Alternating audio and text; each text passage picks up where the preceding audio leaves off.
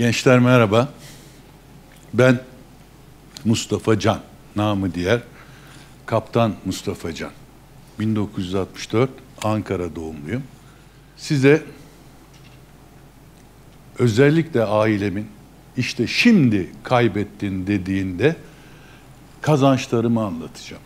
Bu 57 yaşıma kadar yani 20 20 yaşımdan 37 yılda yaşadıklarımın kısa bir özeti olacak.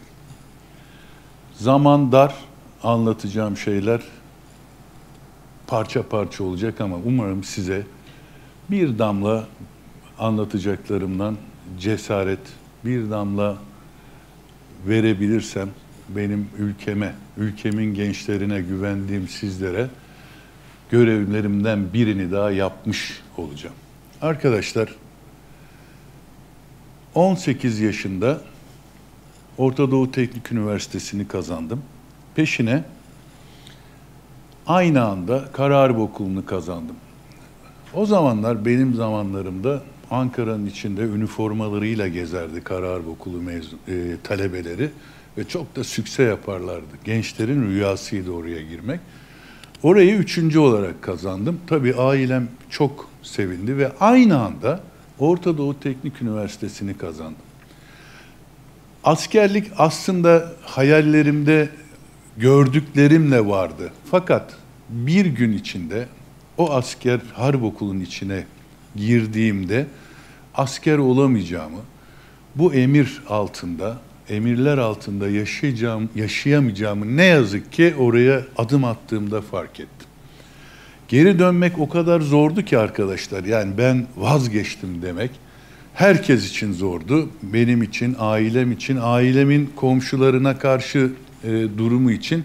Düşünsenize o oğlum benim subay olacak, e, paşa olacak, general olacak, genel kurmay olacak ve hatta eskiden öyleydi. Cumhurbaşkanı olacak. Genel kurmay başkanları cumhurbaşkanı oluyordu biliyorsunuz bir zamanlar. Ben vazgeçtim. Birinci gün, ertesi gün ben asker olamayacağımı ve Orta Doğu Teknik Üniversitesi'ne gitmem gerektiğini kendim ikna olduktan sonra ailemi ikna edemedim. Babam dedi ki, oğlum sen aptal mısın diye başlayan cümleyle beni tekrar oraya çünkü bir gün hak vermişlerdi, geri dönme şansım vardı. Asla dönmeyeceğimi söyledim ve ODTÜ'de hazırlık okudum. Bu arada babam bir trafik kazası geçirdi. O zamanlar şöyle bir muhabbet vardı arkadaşlar. Ceketimi satarım, çocuğumu okuturum. Ben beş kardeşim, tek okuyan da benim. Öyle ceket satıpla okumak o zamanlar çok da mümkün değildi. Üniversite okumak, ilkokul, ortaokulu okuyabilirsiniz. Ve babamın kazasıyla evde 9-10 ay yatmasından dolayı ben Orta Doğu Teknik Üniversitesi'nde Mühendislik Fakültesi'nin hazırlık bölümünde gerçekten fotokopi çektirecek para bulamamıştım. Tanrı'ya şükürler olsun ki Keçiören'den yani oturduğum yerden Ankara'dan ODTÜ'ye kadar otobüsler vardı ve bizi alıp oraya götürüyordu bedavaya. Akşam da getiriyordu. Yemek de çok komik bir rakamdı. Ben aldığım devlet bursunu olduğu gibi eve getiriyordum arkadaşlar. Bu bir sene hazırlıktan sonra, hazırlığı da geçtikten sonra yatılı bir okulda okuma zorunluluğum e, gelişti. Yani fotokopi çekecek parası olmayan birinin ODTÜ'de okuma şansı vardır ama ben, ben e, daha biraz da kolayı seçtim. Tekrar harp okulları, üniversite imtihanı birinci tercih sivil olabileceğim için tek yer İTÜ Denizcilik Fakültesi ki o zaman deniz kuvvetlerine bağlıydı. Kaptan ve mühendis yetiştiriyordu. Ve birinci tercih o. Arkasında tıp fakültesi GATA. Arkasından da olur da kazanamazsam diye Tekel'in üç senelik bir okulu vardı. Her şeyini verdikleri ve tütün eksperi yetiştiriyordu. Üç tercih yaparak sınava girdim. Birinciyi kazandım, okula girdim ve evet her şeyimizi verdiler. Bu devlete böyle büyük bir borcum vardı. Bitir, ben bitirdikten sonra da İTÜ'ye bağlandı bu okul. Bu arada bu borcu o okula 5 sene senior lecturer olarak ders vererek bu borcu bir kısmını ödediğimi düşünüyorum arkadaşlar. Tabii babam yine çok kızdı bana. ODTÜ gibi bir okulu nasıl bırakırsın? Muhakkak buraya devam etmelisin. Ben işte tarlamı satarım, tapanımı satarım. Devam et, e, etmelisin diye. Yine ben dinlemedim. Babam yine oğlum yine kaybedeceksin dedi. Ben bu okula yazıldım ve hayatımın en güzel, en büyük ve bana en uyan tercihini yaptığımı e, hala inanıyor ve düşünüyorum.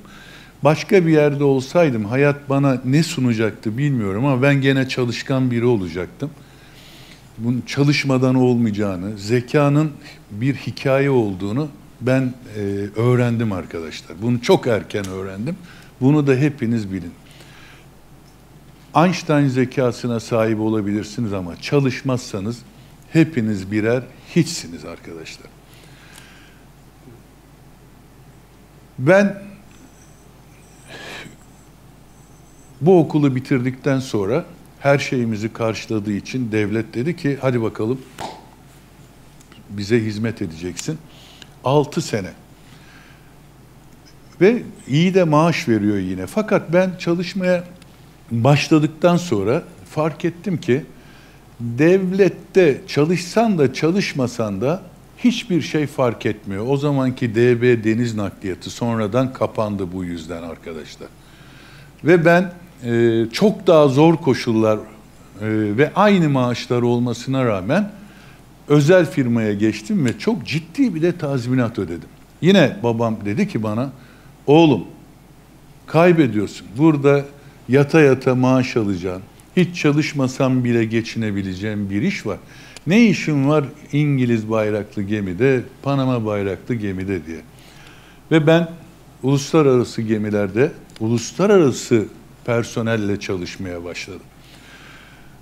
9 senelik denizcilik yaşamımda sınıf arkadaşlarımdan en az iki sene evvel kaptanlık yapmaya başladım. Çünkü çalışmak zorundaydım. İzin kullanmadığım için sınavlara girme periyotlarım daha hızlı geldi ve girip yükselttim. E, gemilerde kural şu, önce üçüncü ya da dördüncü kaptan olabiliyorsunuz, seyir zabiti, seyir subayı diyelim. Sonra chief officer, ikinci kaptan oluyorsunuz. Sonra gemi kaptanı, tabiri caizse Suvari Bey, eşim dostum bana hala Suvari Bey diye seslenin. Ve ben yabancı bayraklı gemilerden e, çok ciddi maaşlar alırken artık deniz tecrübemin yettiğini, burada biraz daha fazla kalırsam karaya asla geçemeyeceğimi fark ettim.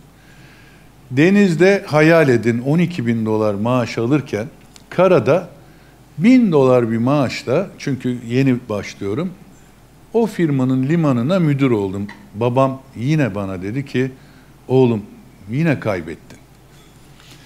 Ve ben yine kazanmıştım. Çünkü bir sene sonra maaşım 10 bin dolara çıkmıştı.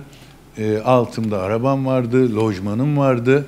İyi bir e, Tekirdağ gibi bir ilde üçün, protokolde de üçüncü, dördüncü adam olmuştum. Fakat Tekirdağ'da üçüncü, dördüncü adam olmak yerine İstanbul'da beşinci, beş yüzüncü, beş bininci adam olmayı tercih ettim. Dedim ki tamam bu, bu da yani ilk adımı attım karaya. Artık ikinci, üçüncü adımlara bakabilirim. Ve yine bu rahatlığı bırakıp bir e, şirketin gemisinde hem dış ticaret müdürü hem de gemi müdürü olarak başladım. Babam yine dedi ki oğlum salak mısın? Aptal mısın diye başlayan bir cümleyle baba dedim hayat uzun bir maraton.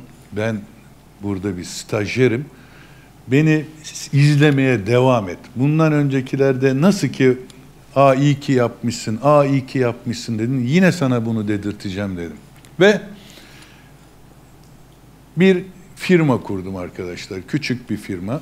Önce bir sene profesyonel yöneticilik, Uno Holding'de dış ticaret müdürlüğü, bir gemileri vardı müdürlük. Sonra gemilere hizmet veren bir firma kurduk. O firmada e, tamir yapıyorduk bir sınıf arkadaşımla. Ve denizcilik o kadar kötüye gitti ki yani ben girdiğimde ne olacağını bilmiyordum. Deneyimler öyle bir şey ki arkadaşlar. Şimdi mesela denizciliğe ben yatırım yapılmaması diyebilecek duruma geldim. Beş sene önce de bütün eşime dostuma neyiniz varsa denize yatırın dedim. Yatıranlar büyük paralar kazandılar. Yatırmayanlar da kaybetmediler ama e, kazanmamış oldular. Yani kardan kaybettiler. Arkadaşlar o bir sene boyunca debelene debelene ayakta durmayı başardım. Batmadık ama e, çok zorluklar geçirdik. Düşünün uzak yol kaptanısınız. Yani uzak yol kaptanı demek geminin cumhurbaşkanısınız arkadaşlar. Şöyle ki Türkiye Cumhuriyeti'nde yalnızca cumhurbaşkanı bir de gemi kaptanı e, kolluk kuvvetlerine emir verme yetkisi vardır. Gel diye arkadaşlar. Bir cumhurbaşkanında vardır bu yetki, bir de gemi kaptanlarında her ne kadar bilmese gemi kaptanlarımız şu anda. O e, evlendirme yetkileri haricinde böyle güçlü yetkileri de vardır. Çünkü orası dünyada gezen Türk toprağıdır arkadaşlar. Bu e, Uno Holding sonrası dış ticaret firmasının müdürlüğü sonrasında kendi ilk firmamı kurduk. Bir sene e, geliştirdik. Fakat konjektür, Rusların dağılması, bunun bir fırsat olarak görün, görmem dolayısıyla Ruslarla ortak bir gemi acentalığı firması kurdum. Bu gemi acentalığı firması, bu arada babam gene aptal mısın oğlum dedi. Arkadaşlar as usual, e, her zamanki gibi. Ben o e, firmayı kurduğumda o işte kaptanlık havasıyla gittiğimde kendi firmamda hamallık bile yaptım arkadaşlar. Öyle hayat çok kolay değil. Ya sıradan bir hayat e, seçip orada işte en üstte oranın en üstünde kalıp ya da hayır ben daha yukarılara çıkabilirim diye düşündüm. Başardım mı en son siz karar vereceksiniz. Alkışlarınızdan anlayacağım bunu. Bu Ruslarla kurduğum acentalık firması Türkiye'nin en büyük bir zamanlar en büyük olan Rus ortaklığı Transbosfor Denizcilik diye bir firmanın hem hissedarı oldum hem genel müdür yardımcısı oldum ve şans bu işte. Ruslar Türkiye'den çekilmeye karar verdiler 99 yılında ve bu şirketi sen alır mısın dediler. Ben alırım ama dedim siz çok küçüldü bu firma. Para verirseniz alırım dedim bunun için. Çünkü borçları da var, alacakları da var. Ya alamazsam diye. Bir de para aldım arkadaşlar o şirketi alırken. Ve o şirket e, Türk boğazlarında 1500 tane acenta vardır arkadaşlar. 1500 acenta arasında 1100'üncüydü benim teslim aldığımda. 7 sene sonra birinci olmuştu. Açıp bakabilirsiniz. Transbosfor denizcilik diye. 2010 yılında 2008'deki krizden sonra denizcilik bir gemi sahibi olarak her denizcinin hayalidir gemi sahibi olmak bizim okul mezunu. 2010 yılında artık bu zamanın geldiğini ve gemi alınabileceğini, o gün için kar etmiyorlar ama daha fazla düşemeyeceğini, nasıl ki Sayın Ekonomi Bakanımız Nebati Bey dedi ya böyle Dolar daha düşemez en dipte en dipte diye. Gemiler de en dipteydi ben aldığımda. Fakat dolar düşüyor. Ben doğru demiştim. Gemiler bir daha düşmedi arkadaşlar. Ve iyi de bir gemiyle başladığımız periyoda 2022 e, yılında 5 gemi, bir ilaç firması, 3 otel, e, bir de gemi acentası hala dururken devam ediyoruz arkadaşlar. Buradan benim hayatıma, çocuklarıma da söylediğim şey hep bu oldu. Sizin için doğruyu ben bilemem. Siz bilebilirsiniz ve sizin vereceğiniz karara ben saygı duyacağım. Babamın yaptığını yapmayacağım size dedim. Oğlum benim yanımda çalışmayı tercih etti. Kızım kendisi firma kurup devam etmeyi tercih etti. Onları da özgür bıraktım. Arkadaşlar Umarım bu konuşmalarımızdan bir kelime aklınızda kalır. Bildiğiniz doğrunun peşinden ölümüne koşun. Bir inandığınız doğruların peşinden muhakkak yürüyün. Kim sizi çekmeye çalışırsa itin elinizde ve o yolda yürüyün. Zafer sizin olacaktır arkadaşlar.